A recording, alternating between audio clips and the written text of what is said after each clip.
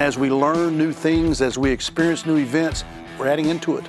So it, it is extreme. It's extreme from the standpoint of the knowledge, the information that's being passed on, and I think the passion that you'll recognize not only do the instructors have, but also the participants.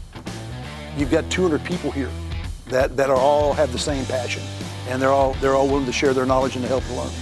The wealth of knowledge and the wealth of contacts you gain here is just invaluable. You couldn't get this anywhere else.